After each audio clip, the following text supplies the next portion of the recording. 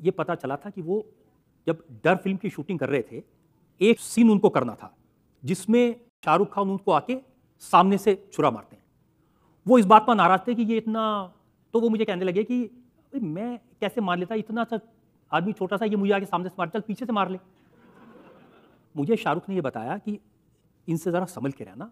जब मैंने शाहरुख को बताया, मैं सनी का प्रोग्राम रिकॉर्ड करने जा रहा हूँ तो शाहरुख ने मुझे घटना बताई थी, ये इतने गुस्से हो गए और इन्होंने अपने हाथ अपनी जीन्स की जेब में डाले और वो जीन्स के जेब फाड़ दी।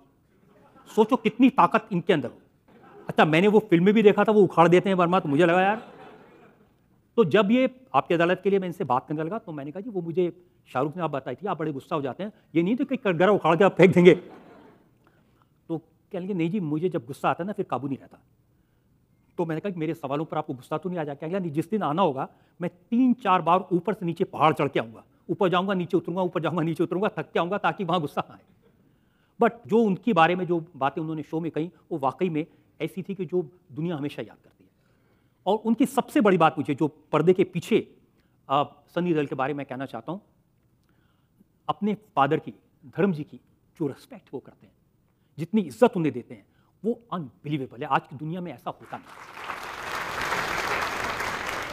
जब धरन जी आपकी अदालत में आए तो आ, सनी ने मुझे कहा कि पापा जी आ रहे हैं मैं उनके साथ आऊँगा।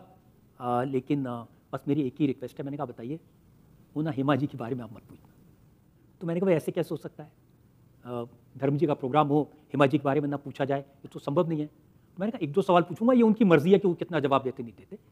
सनी ने कहा अच्छा ठीक है लेकिन I really care for him उनके साथ आए प्रोग्राम के दौरान ऑडियंस में बैठे रहे। धर्म जी को पकड़ के कटघरे तक लाए। बीच में मैंने उनको दो मिनट के बुलाया भी था। उसके बाद वो अपने हाथ से उनको उठा के ले गए और एक एक पल पल इस बात का ख्याल रखते रहे कि आ, उनके फादर को धर्मेंद्र जी को ज़रा भी कोई तकलीफ़ ना हो जाए। ऐसा संबंध ऐसा रिलेशन बहुत कम है।